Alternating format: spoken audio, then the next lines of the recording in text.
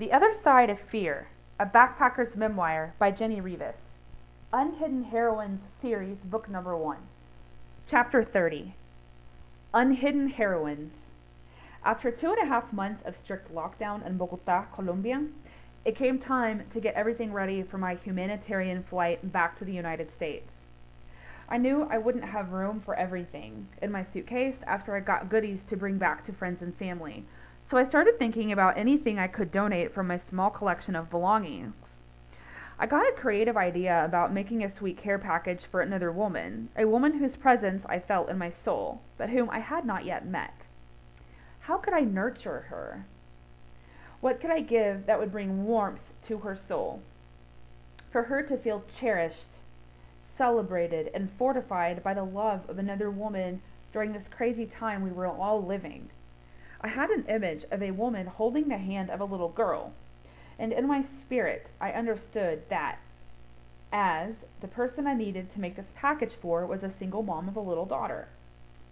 I found a big reusable grocery bag from the kitchen and put together this love package, letting my heart tell me what to put in it. I stuck in two nice blouses I had been given but hadn't worn because they were way too small. I put in one of each color of my colorful hair ties, hoping that it would bring joy to her daily routine in some way. I had several extra pairs of little pearl and diamond stud earrings from a jumbo pack I had found on clearance in some market in some market borders ago. So I found a little baggie to put hair ties and earrings in together. I thought about what she would feel on her heavy period days because I know mine are really painful and heavy. What I get what could I give her so she could feel connected to her body during that time of reset? And what could bring her relief? I dug in the bottom of my backpack to fish out the quart-sized Ziploc I had always kept hidden there just in case I needed to waterproof my valuables in a pinch. It was the perfect size for feminine products. A sleeve of 800 milligram ibuprofen, the last big chocolate bar out of my own period munchies stash, a snack sized bag of my favorite plantain chips, what I had left over of my herbal teas, and the last four tea light candles that I had. I found an extra journal that said, Be your own hero on it, and I wouldn't have time to fill it before I left. I found some extra antibiotics that I had saved in case of an emergency, as well as other toiletries, nail polish and polish remover, and some non perishable food items. After I got all this put together, I wanted to include a financial blessing hidden somewhere in it that would hopefully come in the moment she least expected and when she needed it the most. I folded a bill and hid it between the maxi pads in her feminine bag. I was eager to let my heart show me who needed to be the recipient of this care package I had put together with so much love. The next morning, with my heart leading my footsteps, I made my way toward the center plaza of Bogota with an open spirit and a big smile beaming behind my mask. Our hearts always have all the answers to everything we want to know. The tricky part is learning how to listen. So I was walking down 7th Avenue for a while when a guy with a goodie basket yelled at me, Viva Colombia! He flew me a thumbs up sign, and in spite of the mask covering his face, I could tell that he was grinning ear to ear. He was telling me that he loved my Colombian soccer jersey, so I went over to make small talk with him. We chatted for a few minutes when I noticed a quiet young woman standing a couple feet behind him, watching us. I invited her to come join us. I noticed that she had a pull behind a basket with coffee thermoses in it. Here, have a coffee, the guy offered me. No, I want her coffee, I responded. She eagerly sold me a cup, and I could tell she was very kind and also very shy. Where are you from? I asked her in Spanish. Venezuela? She nodded. This girl is out hustling from dawn till dusk, the guy told me. Her gentle eyes lit up when she smiled, a smile that came from an authentic place in her soul. Ping, ping, ping. My heart told me that she was the one. What do you have in the bag? the guy asked. I'm returning some items to the rightful owner, I responded. Then I asked this young girl if she would walk with me. I didn't want anyone else to hear our conversation. Once away from the group, she asked if we could walk and talk so that she could still sell her coffee. As we strolled down the 7th Avenue, she told me her story. Her name was Luke Betsy. Because of the crisis in Venezuela, she migrated to Bogota a little over a year prior in desperate search for work. She had a couple of family members already there, but once she arrived and was forced to find her own way to survive because her family wouldn't help her, she had to find a way to make money, toting her one year old daughter on her hip, and find some way to make enough to keep shelter over both of their heads and have food, formula, and diapers. She only had enough to buy one thermos and a stack of cups to sell coffee in the street. So she walked the streets all day with her baby on her hip, selling little cups of coffee day after day until she finally had enough for two thermoses. Then she eventually found a way to get her pull behind basket, which could hold thermoses, more thermoses, and free up her hands. Her baby caught pneumonia, being exposed to the cold, rainy Bogota climate, so thankfully she worked out an agreement with her landlord to watch the baby during the day so that the young mother could sell her coffee. She hustled hard enough to expand her business to four thermoses and add a mini basket to the side of her cart that held different brands of cigarettes to sell in addition to coffee. She said the more product available to sell, the better, because she takes the same number of footsteps every day regardless. She told me that her next goal was to upgrade her basket to a four wheel cart that would hold up to eight thermoses on the bottom and a cooler on top with different compartments to hold pastries and homemade Venezuelan food all of which would greatly increase her sales revenue per footstep. She had done all this herself with a one year old baby and as a migrant worker in a country that did not welcome her. I watched the glow all around her face as she told me her story. She was so proud of it. The suffering brought her to a point that she had no choice but to reach down into the deepest parts of herself to make her own way when things seemed impossible. I was so inspired by her, and I found myself relating to her in many ways. Although our lives, cultures, nationalities, native languages, and skin color were so different. What we suffered through had not made us bitter, it had made us better. And we saw infinite possibility to keep growing and creating, all thanks to hard times. It made us relate to each other at a soul level that transcended borders. I explained to her what my love package was and offered it to her with every ounce of pure love from my heart, and then we hugged and we hugged.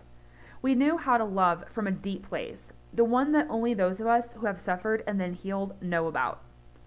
Every little bit of it had come at the most perfect time in a pandemic, when sales were at an all time low and the streets were a ruthless reality, full of hungry people fighting for their own sales to feed hungry mouths at home. She hadn't been able to do fun things with her daughter or buy any gifts so she was excited to paint her fingernails and put in those little pearl earrings. My heart was beaming as wide as it could, imagining her finding that secret bill stashed away once she got home and really went through the bag in detail. I went to sit in Plaza Bolivar, just totally floored that it was empty, except for me and all the pigeons. I took in the beauty of the architecture of the government buildings. I thanked Colombia for starting and ending this three year chapter.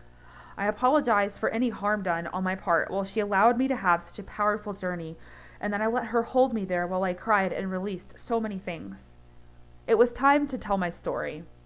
It was time to talk about what made me have that moment with Luke Betsy. I felt the bliss of pure joy surge through my body, ruminating on the experience that had just taken place, and I thought about how happy I would be if I could dedicate my next chapter of traveling to documenting stories of people just like her everywhere I went. If her story inspired me, maybe it would inspire countless others. Maybe it would inspire something big in just one person. And maybe that person would let their inspiration lead them to a place where they'd be empowered to inspire 10 more people in a big way. What if it snowballed into a bigger movement where women all over the world were empowered by sharing their story? and they all found unity by healing together and continuing to rise into new layers of greatness. Before we parted ways, she gave me permission to make a video with her telling her story, and that was how I launched my YouTube channel right before I closed the chapter of traveling in South America. Nearly 20 years later, my life had turned full circle to what I had sensed as my life purpose in my teens. The epiphany left my jaw hanging wide open, sitting right there on that cement block on the edge of Plaza Bolivar. It brought me full circle to the soul fire I had experienced when I was 15 years old, the first time I walked into a formal Spanish class. It had brought me full circle to the soul fire I had experienced at 19 years old on an island the first time I traveled to a foreign country. Not one single step along the way had been a mistake. I had to live through all these chapters to fulfill my purpose in the most powerful way now. Having been on the go so frequently around another continent for three years, being back in Oklahoma was quite an adjustment. I had assumed that I could scratch my itch for traveling by taking road trips in my Jeep. I got on my volunteer's website, the same one where I found the opportunity building a bamboo house in Ecuador, and found 10 different places here in the States that, in spite of the COVID crisis, were looking for a single volunteer to stay long term to come house it, work on their farm harvesting food, or take care of animals. It was no coincidence that in less than a month after getting back to Oklahoma City, my Jeep broke down, and none of the 10 host families to whom I had written about coming to stay as a volunteer responded. What was I going to do stuck in Oklahoma with no job, no vehicle, and no money? I searched deep within for the answer. For the first time in my life, I was void of distractions. I had worked so hard for nearly 20 years, ever since I had my first job at 15, and being in a constant emotional state of surviving had gone on much longer than that. I had never been so still for so long, in Oklahoma and sober, all at the same time. Sobriety was the key factor, though, because it allowed me to truly feel, and I wanted to drink so bad. My soul started to pour into my soul started to pour over onto paper as I handwrote every chapter of this book. I never had time to really sit with any parts of my story, and so many months of doing this work showed me how many wounds from my life I still needed to heal. Penning out my story gave me the opportunity to also sit with myself through each of those chapters from the age of 20 until now to love myself and to analyze my life in a different way. I was able to see that I had cycles. I didn't write about Jose to demonize him, but to show one example of what my relationship reality looked like. Jose was just one, but in reality, there were dozens, one right after the other with similar endings. The common denominator was me. I kept myself in cycles of financial insecurity and woundedness. I was able to count how many times I noticed red flags about what I was walking into, nearly every time, yet disregarded them. It made me look a little deeper. These things didn't start after the kidnapping and the rape, they were already there. I kept asking myself why. But how did you get there? To keep backtracking earlier and earlier into my life to find where those patterns started. That was how I found the root of my pain. The root of my pain is my father. My father began a sexual relationship with me when I was three years old, and it continued for eight years until he got me pregnant at 11 years old. I miscarried. Right after that is when I had, right after that is when that mysterious psychotic breakdown happened, followed by my first suicide attempt when I was 12. Actually, it was not just my dad, but it was also his dad who sexually abused me, and there were were a total of four men in my childhood who raped me before my breakdown landed me in that mental asylum. I can't even count on one hand how many different men have raped me in this lifetime. Why is it important to go back and sort through it? Because it impacted everything after that, and it still impacts me. Actually, I am just now opening this chamber, the deepest one within me, and it requires much hard, painful work. This kind of soul work fucking sucks. It hurts. It's hard. It feels like anguish. But why is it necessary? Because it still impacts several of areas of my life today and it impedes me from living the life of my dreams. I know now that I deserve to live the life of my wildest dreams. I will face every demon and every monster within me until there are none left. I realize I have many things related to my family that are a big mess inside of me. It will take a lot of work to figure them out, not for anyone else but for me. While I began sorting through some of these things, I read a stack of books related to broken family relationships, the impact of sexual abuse in one's childhood, how these things impact relationship and money cycles, and how to break the cycles. At the end of this book, I am including a list of books that have helped me tremendously in working through all these chapters. If anything I shared about my traumas and healing process resonates with you, and you desire to do your own inner work, My hope is that some of these books can help you like they helped me. My next book will be dedicated to telling the story of the first half of my life, how it impacted my belief systems going forward about everything, and how to heal it so that I can live the fullness of the life I deserve. This is why it is important to heal. Coping with these powerful tribulations wasn't and isn't easy. I wanted to drink so bad. The pain that is still there from that chamber, the deepest chamber yet, is so great that it made me want to reach for anything not to feel it. This is what made my this is what my soul had been screaming to let out. When I heard its cry the day that I lay miserably hungover in my sweat before I left Argentina. I had told myself, if I can make it sober through my 34th birthday in Jardín, in Colombia, I can make it sober through anything. Then the world caught on fire when the pandemic hit, and I told myself, if I can get through lockdown in a foreign country sober, surrounded by others drinking, I can get through anything sober. And I did. And I told myself, if I can get through doing this level of healing while in Oklahoma with no job, no car or money, sober, with the person who terrorized me more than anyone still alive and living in town, I can get through anything. I celebrated my year of sobriety from alcohol on November 1st, and I don't plan on ever looking back. Drinking so much alcohol for 15 years of my adult life never let me feel. It is imperative to feel in order to heal. There are no short- shortcuts to that. While I wrote this book, a friend with whom I had not spoken in years gave me a surprise visit one afternoon.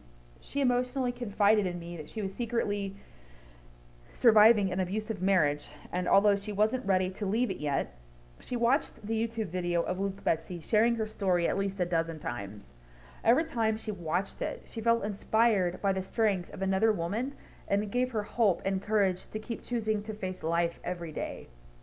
I was once again realigned with my life purpose. Gosh, the local people on the streets of Bogota looked at Luke Betsy down their noses. Just one more meek, unwelcome Venezuelan refugee fighting for her space to sell coffee for coins. But look at her power to inspire a woman on another continent by having the courage to share her story in a 12 minute unedited YouTube video. Her sharing her story made her unhidden, and I knew that me sharing mine would make me unhidden as well. I was ruminating on one of my favorite quotes by Nora Ephron. Above all else, be the heroine of your life, not the victim. When the name Unhidden Heroines came to me, this, this would be the name of my book series, with my memoir being the first book, and books afterward dedicated to documenting stories of women like Luke Betsy and others who came into my life. What if our stories could inspire women across borders? And by learning how the world looks through the eyes of another human, we could love and accept each other instead of being so judgmental. As I sat with my story, I relived the joy of my travels and realized how many women inspired me along the way.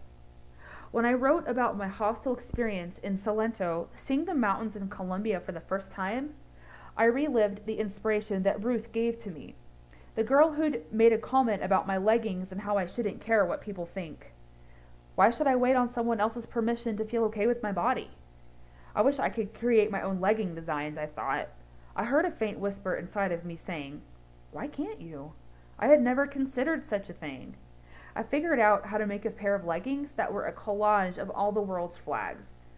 Born out of the joy I had experienced in my first language classroom, where I was enamored by vibrant flags. I imagined aligning with the energy of the women in all those countries. How exhilarating it would be to cross borders to meet them later in perfect timing. I created another legging design with a translation of Love Conquers All in 64 different languages, sprawled all over them. The tattoo I had gotten in Arabic on my left arm from the first time I visited Bogota. What unites us all across borders is love, our ability to love others. Creating this pair further inspired me to make leggings and matching products in other languages as well, such as Chinese, Arabic, Hindi, Russian, Mayan, Egyptian hieroglyphics, sign language, and multilingual messages about love and peace. Writing about Colombia made me go back to look at all my travel pictures, and I thought, how cool would it be to make a pair of leggings that has a collage of pictures of artwork I photographed around Colombia? So I did. I wanted to connect to joy by wearing them, no matter where I physically am, and to give the same gift to women all over the world, especially to those who may not ever have the chance to go on the same adventure, adventure that I did. Writing my story also reminded me how the universe always showed up and was always working in my favor, even when it didn't seem like it. So I made a universe collection to wear as a reminder to always trust. As I worked through my story and realized that life had brought me full circle to what I always knew I wanted to do, I made another legging design out of my favorite quote Live life by a compass, not a clock, with the quote on one leg and the world map of countries and oceans surrounding it on the rest of the pattern.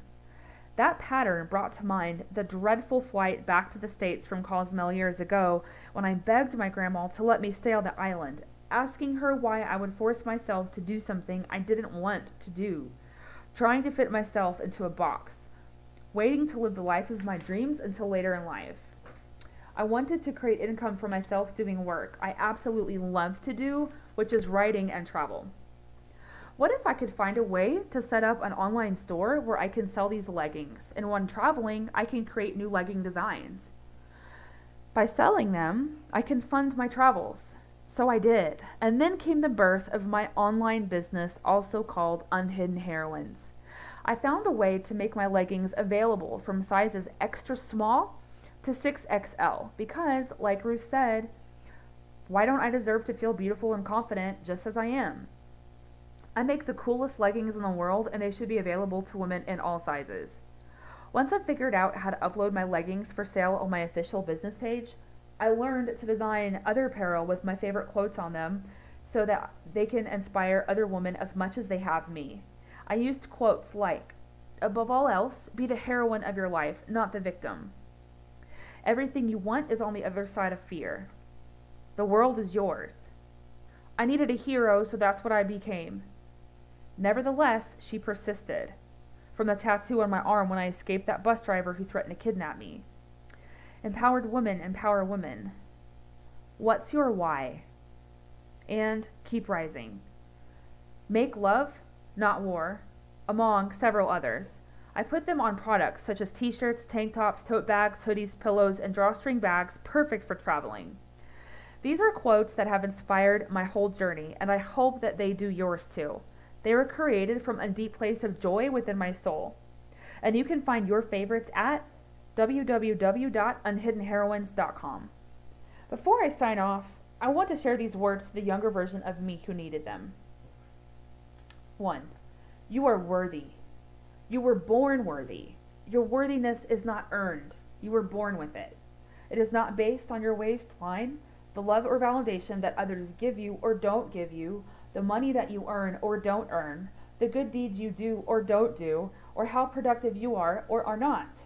Make sure to know what your inner belief systems about worthiness really are. When you try to create something new and wonderful, but you subconsciously believe you aren't worthy of it, it's like picking fruit to put in your basket with one hand, but gauging a hole, gouging a hole in that basket with the other. Two, don't be afraid to start over as many times as you need to. Each time you try again, you are not starting from scratch, but from experience. Each time you try, you learn something new, and applying it is wisdom. Have fun with your adventure and never get tired of exploring every avenue. 3. It doesn't matter what hand of cards life deals you, your power to choose to play them however you want. And you can make anything work in your favor. 4. It wasn't your fault. Not as a little girl, not as an adolescent, not ever in your adulthood. Your abusers did not take anything from you that you cannot get back. Those pieces are yours. Doing the inner work to get your power back is hard, but it's worth it and you are worth it. 5. You are not dumb, dirty, damaged, or destined for doom.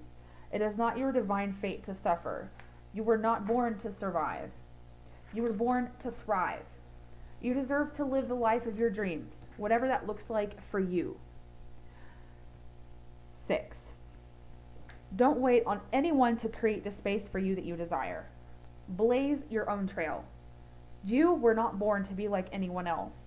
When you march to your own beat, people may not understand you and they may even hate you for it, but mostly They will wish they had the courage to do the same. 7. Everything you need is already inside of you, baby. You are magic. You are pure magic. 8. It is wonderful that you have a heart of gold and desire to do so much for others. But you should not but you should always give to yourself first. You cannot pour from an empty cup. That is not selfish. That is self-love. And you will be able to give from a place of true love to others when you first love yourself. 9. I love you so much, just as you are. You are worthy of being unconditionally loved, no matter what anyone did to you, no matter what you did to anyone else. You deserve to be loved and be in love with life always, every day, no matter what. 10. Fear is your friend. It exists to show you where you need to grow and go to those places outside of your comfort zone. That is where all the magic is. 11. Your words are so powerful. Use them to plant seeds that will be a harvest of love and abundance in your life and the lives of others. Well, it's time to go. It's time to pack my suitcase for my next chapter. I have more healing to do, more things to discover about myself, more books to write, stories for myself and others waiting to come alive on paper, languages to learn, tattoos to get, leggings to create, and places to explore all over this beautiful world. I will be headed back to my beloved Colombia on another one way ticket. But this time, I'm not running. Telling my story has aligned me with my life purpose, and I plan on living it as authentically as I can.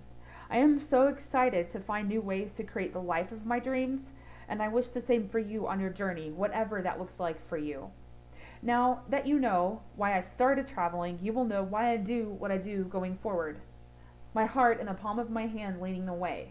I beckon you to follow my journey. I love you, Jenni.